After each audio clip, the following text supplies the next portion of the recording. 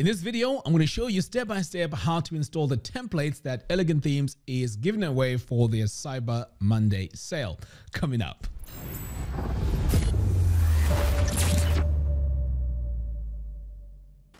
Hello everyone and welcome. My name is Mak and in today's video, it's all about installing the templates that Elegant Themes is giving away for their Cyber Monday promotion. So uh, before I continue, I'd also like to remind you that if you buy Divi using my affiliate link, you also get access to my web design formula course a complete course that teaches you how to design professional looking websites with Divi. All right, so let's go through and see what we have here. So as you can see here, we have 21 days to go. So you want to make sure that you uh, purchase Divi and uh, get these templates for free and also my course for free. All you have to do is to use my affiliate link in the video description below and you will get access to it. All right, so what you want to do once you've uh, purchased Divi is to log into your account. So here I have already have an account. So I'm just going to click on my account details here. And this is going to take us to my members area. So here we have this link which says Cyber Monday perks. This is what we want to go to because this is where all the information is. So we also have these products here on sale. So as you can see, we have 50% discount, 30% and so on. But what we are mostly interested in here are the free landing page and uh, theme builder templates. Okay, so I'm going to come over here and uh, just do a quick preview, but we are going to open this in a new tab. So as you can see here, we have the landing pages. And these ones look very, very professionally designed. I really love this. So like I said, we're going to focus here on these templates. So I'm going to click here on view the demo, and this is going to give us an idea of what this looks like. So we have this landing one, and this is what we are taking a look at right now. In my opinion, this one here is a bit too busy. I prefer this landing two. So now that we're on landing two, you can see here, these are all the options that we have on our landing pages. I love this one here. It's clean and it looks really, really nice. I like the colors as well. All right. So now that we have an idea of what these look like, what we're going to do now is to go ahead and download them. Okay, so I'm going to go back here to my account, click on account details, and then I'm going to go to my Cyber Monday perks, and then I'm going to scroll down here and download the pack. So I'm to click here on download the pack, and this now is going to download onto my computer just like that. All right, so the next step now is to go to our website, which is uh, right here. So normally when you log in, you are going to be here on your dashboard. And of course, before you install these templates, you wanna make sure that you have downloaded and installed Divi. All right, so I'm gonna scroll all the way down here to the bottom and then hover over here where it says Divi and click on Theme Builder. All right, so the next step now is to click here on portability. These two arrows here, you're gonna click on that and then click on the import tab. Now I'm going to find my files that I've just downloaded. So I'm going to click here on Finder. And as you can see, this is where all my files were downloaded. I mean, I went ahead and downloaded this, but I already downloaded it uh, the first time. So the pack that I'm interested in here is pack number three. So when you open it up, in fact, let me show you more. So when you open it up, you have all these pages here. So you can either use these page one, these pages one by one, or you can just download all of them. Now I prefer just installing all the templates and then disable what I don't like. So what we're going to do now is to target the all templates file, drag it over here and let go. Click on import theme builder templates. Now, this is going to import all the templates that we need for our page. And then once that's imported, we can then go in and customize it the way we want.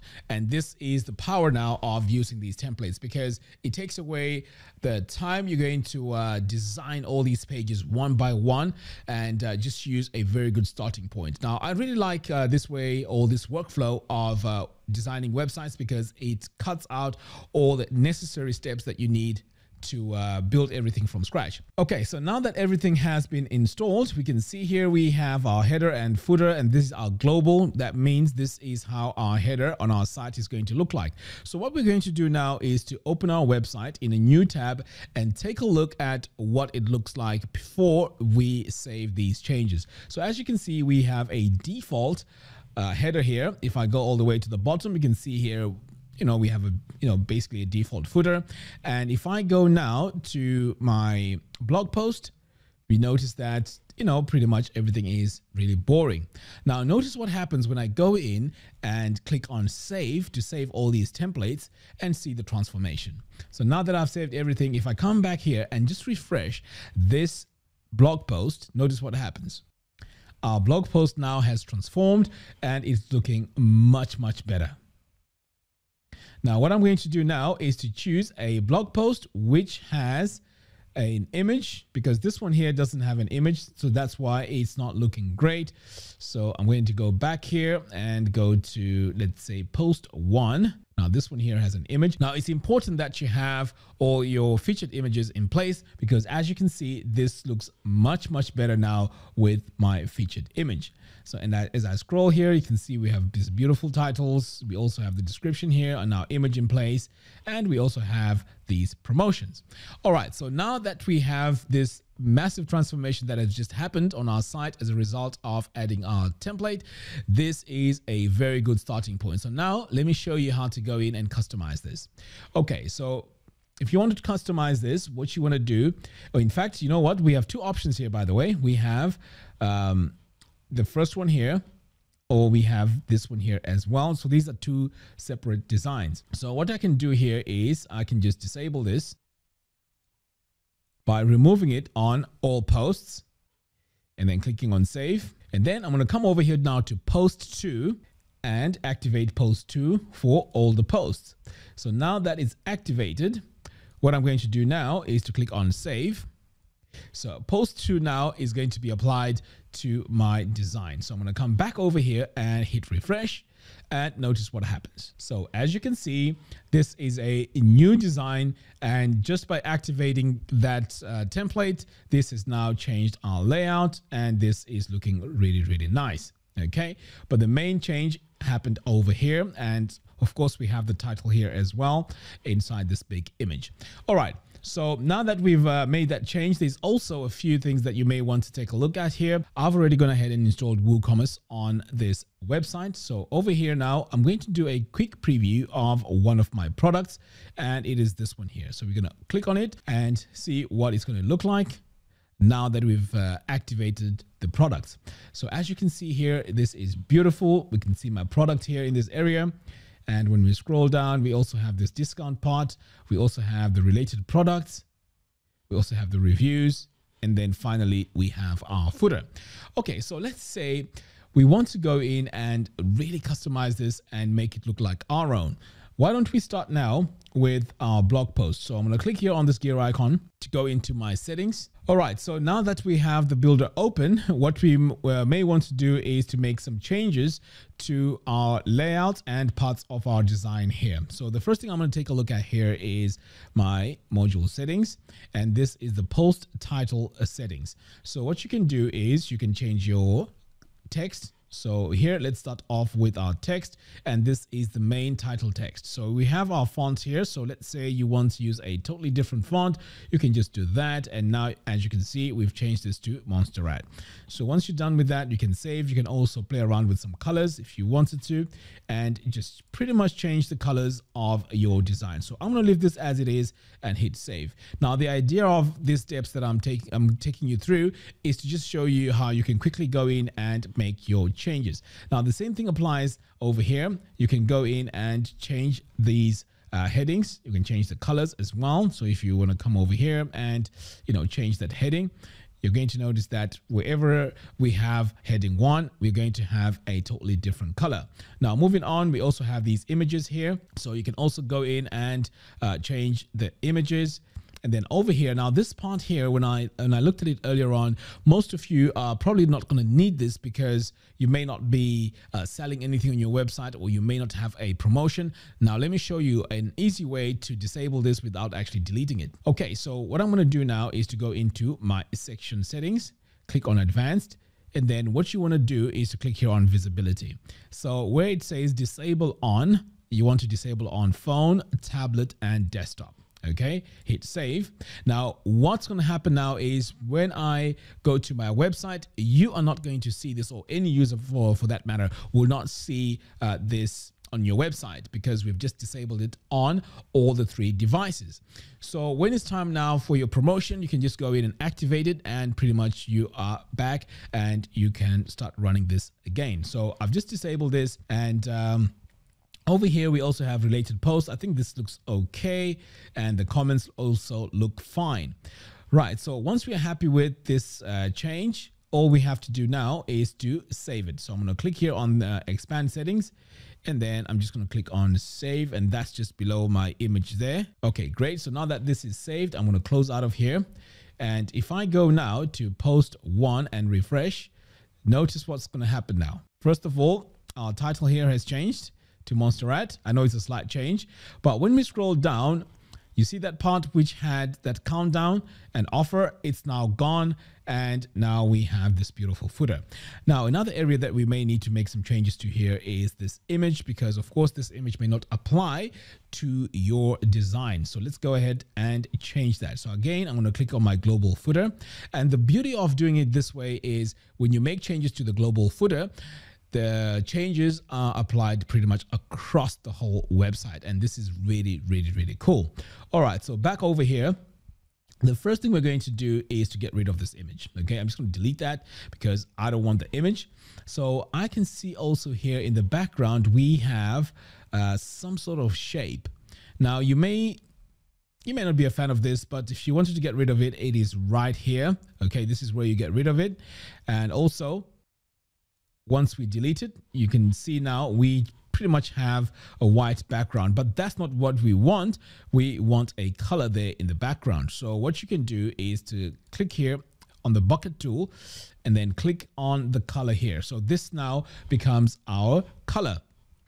Okay, so what you can also do is to play around here with the shades and see which color you know you want to really dial in here. So let's say you want to go with a really dark color like that. Around that dark blue that could work. I'm to hit save. And now you can see that my footer has now changed. Now let's again save this and then see what it's going to look like once everything is all saved. So i've saved that. I'm to close out of here. And before I save everything, you can see right now we have this image here. So if I come back and and save all changes, and then refresh this page, you're going to notice that this image now is going to have disappeared. There we go. So the image has disappeared now. All I have is a solid color.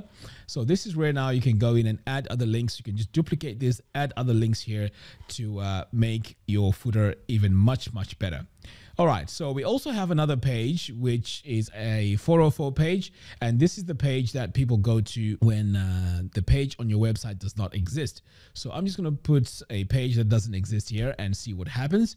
So this should take us to our pre-designed 404 page. There we go. So now this is our 404 page. And as you can see here, it says take me home. So if you click here, this will go to the home page. Now, the beauty of this is you can also go in and change this image. Now, let me show you how to do that. So back over here, all we need to do is to locate our 404 page, which is right here. So what we're going to do now is to click on this pencil icon and it's going to take us to the builder.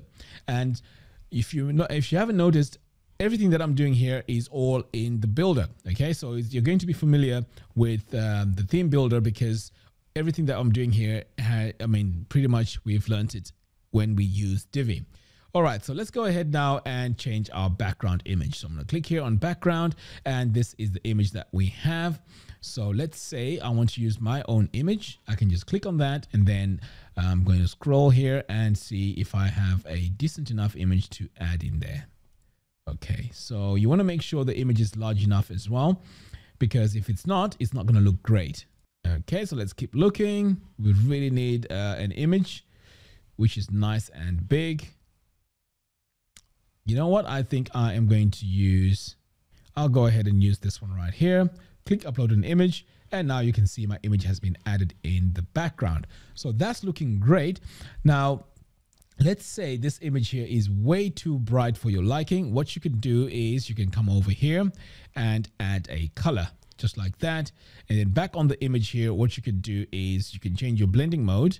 And let's say we're going to change this to uh, say screen Actually, that hasn't made any difference. So let's go to overlay. Right, so overlay works really well because it makes everything dark. But if you go back over here now to the color, if you drag the slider down, it starts revealing what's in the background. So we're just going to reveal a little bit of this, but uh, the color that we're going to choose is going to be a really dark blue. So I'm going to bring this all the way down here so it matches with our design.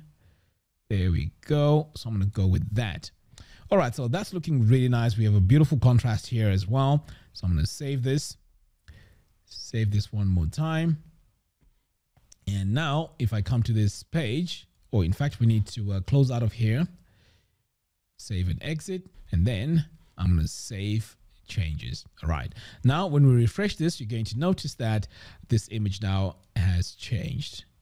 There we go. So now we have our own custom image. So as you can see, all we have to do now uh, after we've installed our templates is to just go in and change a few things but pretty much all the changes we're doing are site-wide they're going to be applied pretty much across the whole website so this 404 page is a page which all your users will see once they go to a page which doesn't exist on your site or even a broken link. So it's very, very powerful. Now, also, when it comes to the headers and footers, all you need to do now is to go in, change the colors, change the fonts, and this has saved you a lot of work. As you can imagine, if you're going to design all of this from scratch, making sure it's mobile friendly and it looks great on all mobile devices, this would have taken you probably a day or two. But with using these templates, you can just pretty much go in and make a few adjustments and you are ready to go. All right, guys, that's all I have for you in today's video. Thank you very much for watching. Don't forget to hit the subscribe and bell notification. By doing so, you'll be notified when I release new tutorials. Until next time, thanks for watching and I'll see you in the next video. Take care.